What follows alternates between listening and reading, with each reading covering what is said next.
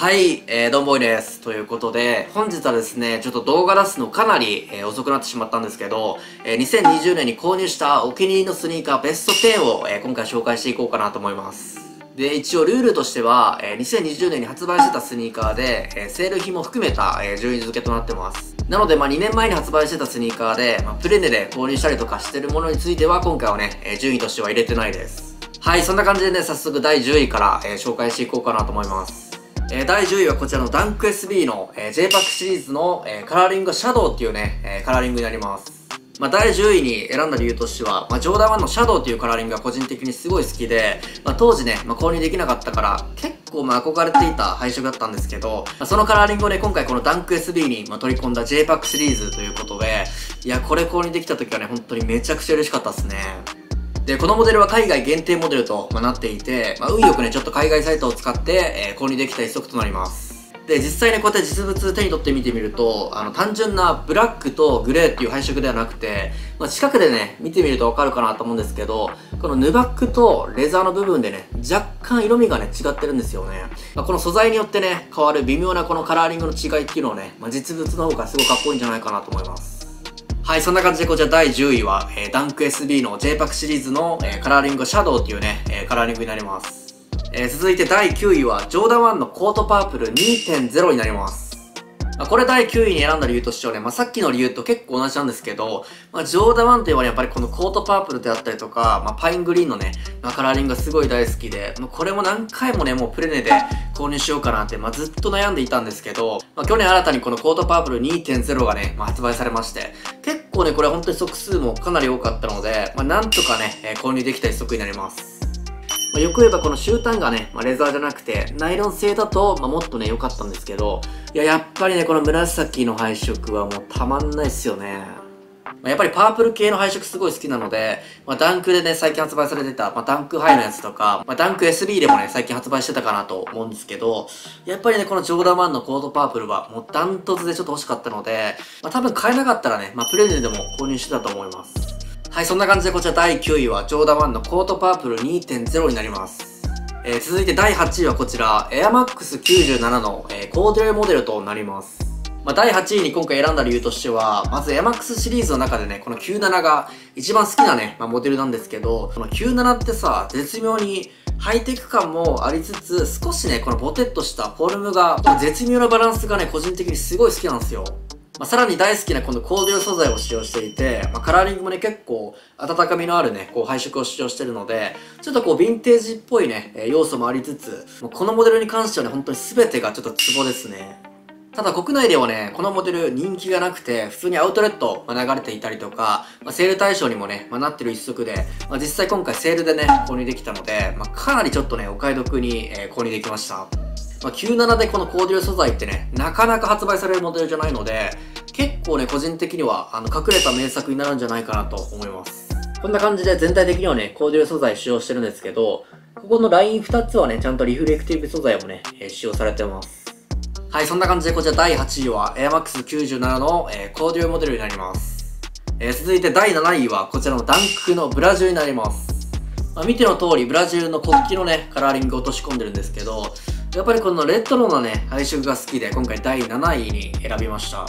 で、このブラジルカラーを購入したあたりから結構自分的にスニーカーの好みがね、割と変わりまして、今までだと割とこうダンク SB の方が、え好きだったりしたんですけど、まあ、最近はね、ダンク SB よりこのダンクの方が、え好きだったりとか、あとどちらかというと、レアなコラボモデルっていうよりは、まあ、ベーシックのね、カレッジカラーとかの方がちょっと個人的には、え魅力にね、感じるようになりました。まあだから今思うとね、ちょっとケンタッキーとかね、まあ、シラキュースとか、あの辺のちょっとカレッジカラーも、まあ、プレネがね、結構こう落ち着いてた時にね、まあ、買えばよかったなと、ちょっとね、今、あの、後悔してます。まあ、最近はね、こういうレトロな、えー、配色が好きなので、えー、今回第7位に、えー、こちらブラジルを選びました。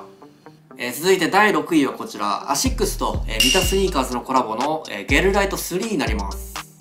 去年このゲルライト3が30周年記念ということで、こちらコラボした、えー、一足なんですけど、あの、25周年の、え、時からね、まあ、ミタスニーカーズはトリコモデルっていう、まあ、シリーズを出していて、もうすでに4種類か5種類ぐらい、え、トリコモデルって発売してるんですけど、今回ゲルライト3の30周年記念と、え、東京オリンピックがね、まあ、重なったこともあって、デザイン性であったりとか、まあ、細かい作りの細部もね、本当にこだわって、えアップデートされたモデルとなっています。で、詳しくね、紹介するとちょっとかなり時間が経っちゃうので、まあ、個人的にちょっといいなと思うとこだけ、えー、紹介していこうかなと思うんですけど、まずゲルライト3ってね、この真ん中の終端が割れている、あの、スプリット端っていう端を使用してるんですけど、この真ん中にね、このモデルはチップがついていて、まあ、シューレースをね、外してスリッポンとしても、えー、使用できたりとか、で、後ろのヒール部分にね、こちらゲルっていう素材が入ってるんですけど、これ今までね、あの、スニーカーの中に入ってる素材なので、まあ自分の目で見たりとかすることができなかったんですけど、まあ実際ね、こう触ったりとか、えー、目で楽しむことも、え、できたりとか、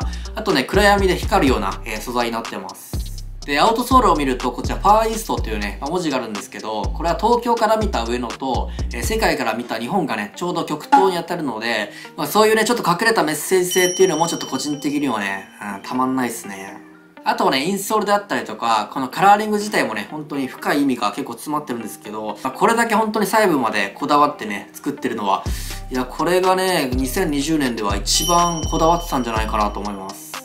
まあ、第6位はこちらのミタスニーカーズと、えー、アシックスのコラボの、えー、ゲルライト3になります。えー、続いて第5位はこちらのジョーダ1のダークモカになります。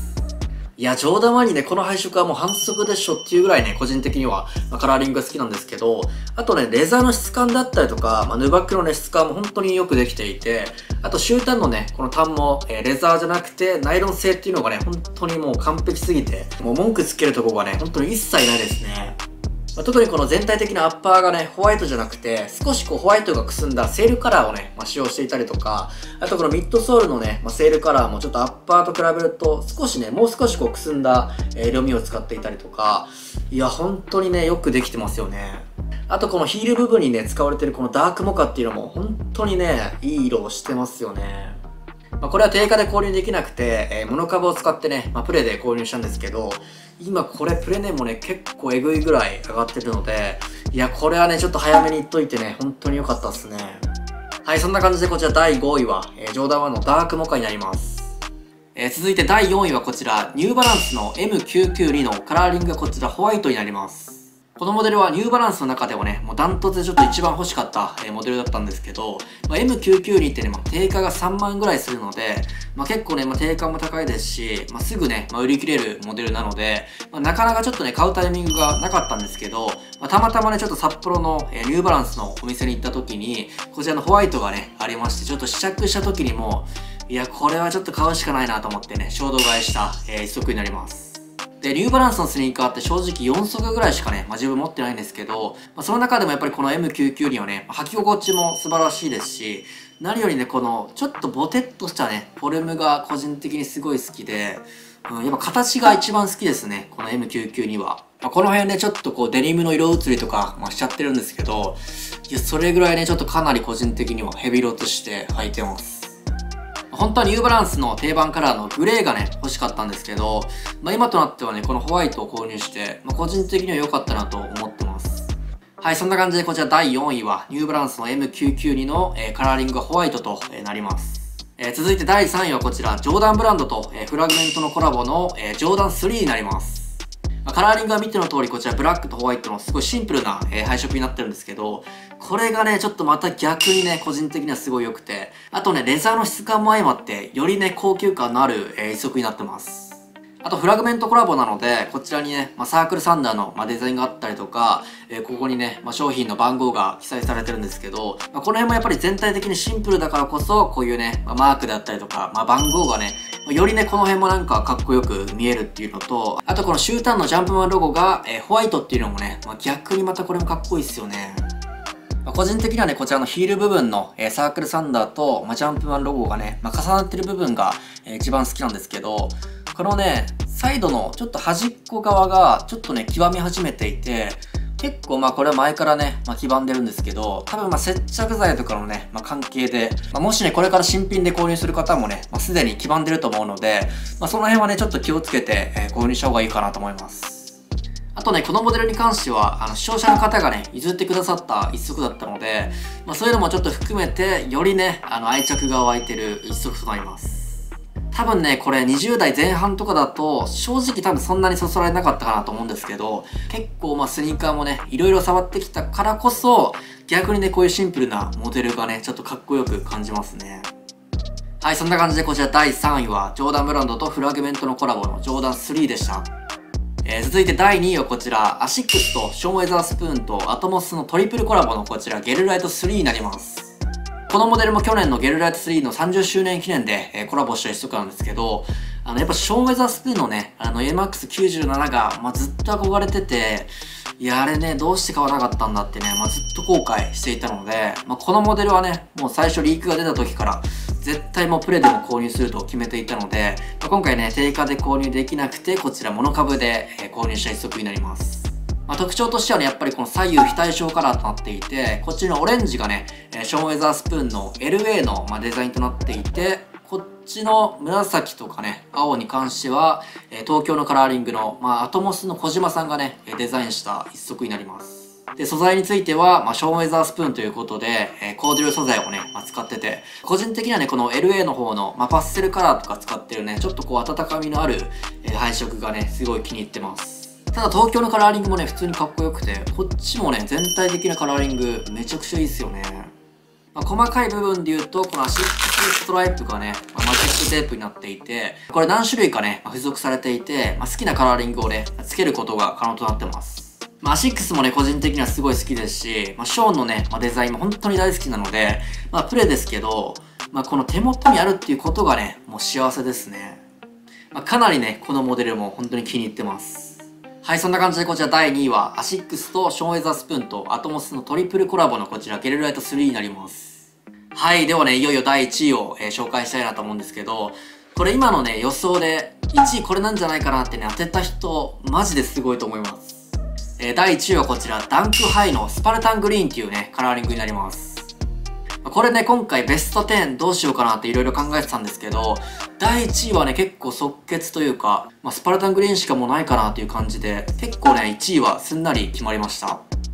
まずね、このスパルタングリーンの配色がね、個人的にめちゃくちゃ好きで、結構ね、こう深緑というか、濃いね、えー、グリーンを使用していて、まあブラックに見えたりとか、えー、するぐらいね、まあ、暗いグリーンを使用してるんですけど、一応このカラーリングはミシガン州立大学っていうね、まあ、カレッジカラーの、えー、配色となっていて、ただこのミシガン州立大学っていうのは、まあ OG カラーではなくて、まあ、去年ね、まあ、新しく発売された、えー、カラーリングとなります。この辺ね、結構ややこしいんですけど、ミシガン大学があのね、黄色とネイビーの、えー、配色で、このミシガン州立大学はこちらね、まあ、グリーンとホワイトの、えー、配色となってます。シューレースをね、これ、きなり色のシューレースに変えてるんですけど、このきなり色のシューレースと、このダンクハイのね、ハイカットの形だったりとか、あとこのカラーブロック、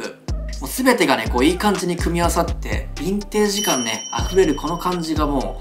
う、いや、個人的にはね、もうたまんないっすね。まあ、ブラジルのグリーンとね、比較しても、かなりね、このスパルタングリーンは濃いね、まあ、深い緑を使用してます。まあ、ダンクもね、あの、ハイカットって正直全然興味なかったんですけど、まあ、個人的にやっぱりこの、ヴィンテージブームがね、結構来てるので、まあ、最近はね、まあ、カレッジカラーとかだと特にね、やっぱりハイカットがちょっと欲しいなと思ってます。まあ、第1位はね、こちら、ぶっちぎりでダンクハイのスパルタングリーンと、えー、なります。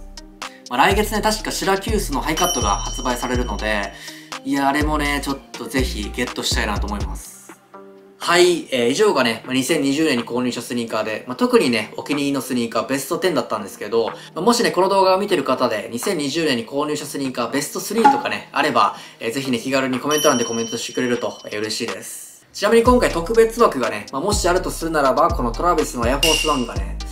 ノミネートするかなという感じで、これ発売したのが2019年なので、ちょっとね、今回のランキングにはね、ま、対象外となってるんですけど、ま、トラビスとのコラボスニーカーの中でもね、このモデルはもうダントツで一番好きですね。まあ、去年はコロナの影響でね、あんまりこうスニーカーを購入できずに、ま、どっちかっていうとね、まあ、プレイでも結構購入する機会が多かったので、今年はね、もう少しこうまったりとね、まあ、スニーカー集めていこうかなと思います。はい、えー、そんな感じで今回の動画は以上となります。よければチャンネル登録と、えー、高評価もよろしくお願いいたします。えー、どうもご視聴ありがとうございました。